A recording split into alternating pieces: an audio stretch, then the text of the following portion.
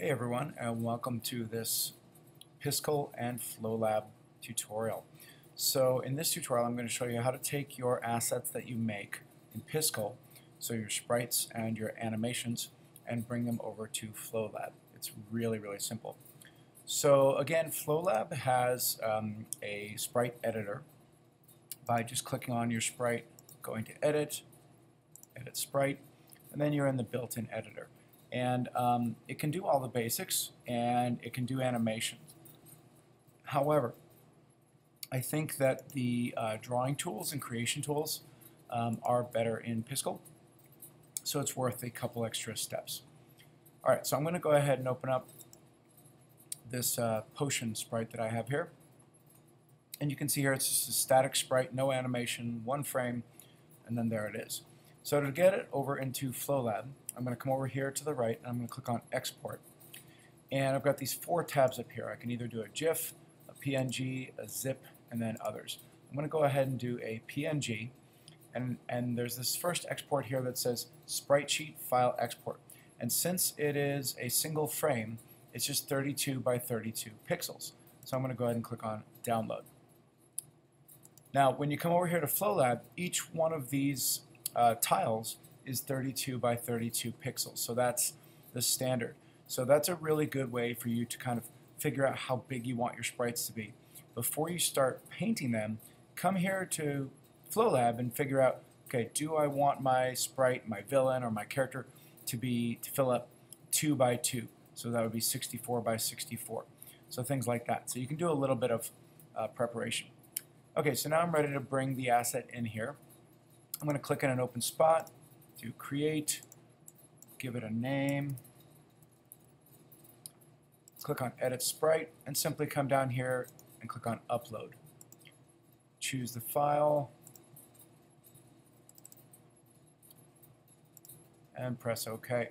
So there it is in my game, and remember that wherever you see um, empty open spots, and you will see that there is a, I did do kind of a, a semi-transparent layer, so that way it will hopefully mimic glass.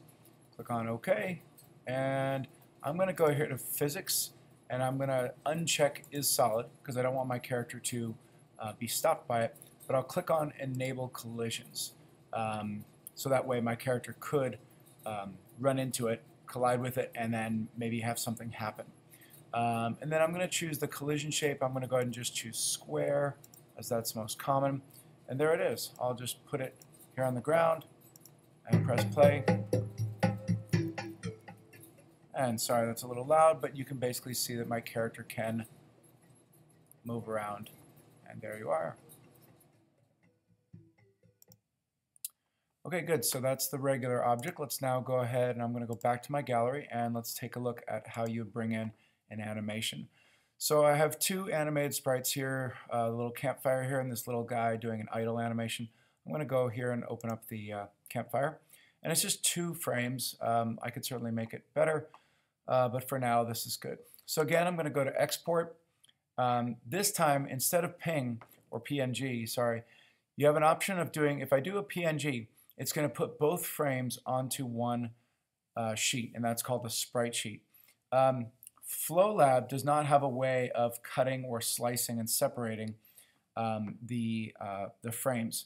Um, and so you would have to do that in another step. So in this case, I would not recommend that. I'm going to recommend that you choose the zip file, and then it's going to ask you um, what do you want to call it, and it's going to put this prefix in. So it's going to be called sprite underscore zero, I believe, and then sprite underscore one.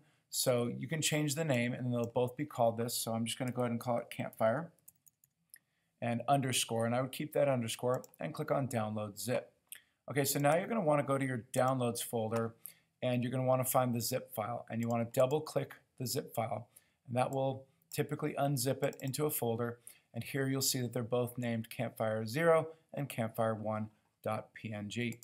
Okay, so now I'm going to go ahead and create my new object. Edit the sprite and you want to make sure that you actually edit this sprite and then go in and do the animation. So I'm going to do upload, go find my folder, and I'll just bring in the very first frame. All right, so there we go. Then I'm going to click over here on animation. I'm going to create a brand new animation and I'll just go ahead and call this, uh, how about flicker? Okay, so I've got the first frame here. I'll click on the little plus button here to add a new frame, and then I'll go to upload to upload the second frame of my animation.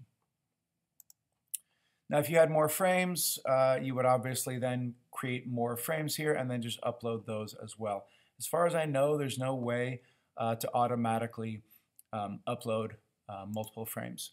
Uh, so you can see here, here's the uh, fire that's at a delay of five. Let's do four, three. Yeah, I think I'm going to settle on four. Okay, press OK.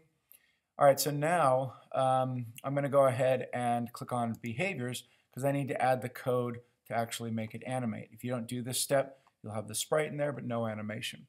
So I'm going to go over here to triggers, and I'm going to choose an always trigger. So that way it just keeps playing forever. And I'm going to come down here and look for the animation. Here we go. So it's in the properties category and animation. And since I only have one animation for this object, Flicker loads up right there. But it is good to uh, be here. And I'm just going to go ahead and click on loop animation um, and say OK. And I'm going to go from out up here to start like that. Click on OK. And I'll go ahead and I'll put this maybe right there. All right, take a look. So you've got the fire animating, um, and I've got the potion in there ready to uh, have some code put on it so I can do something better. Um, yeah, and everything's working all right. So I hope this helps you out. Bring in all of your awesome artwork and assets from Piskel into FlowLab. They work really great together. Thanks, everyone, and I will see you next time.